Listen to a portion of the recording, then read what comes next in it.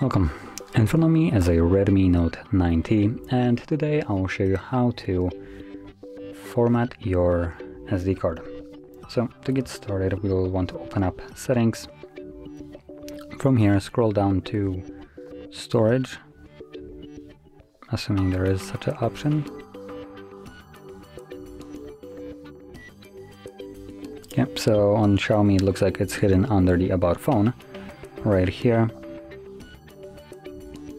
And from here you can scroll down and you should see your SD card right here barely visible. So from here simply select format SD card.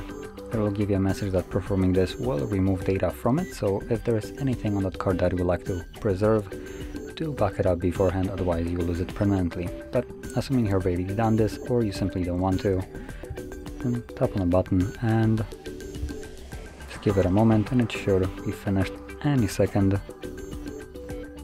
and there we go. Click on done and you're finished.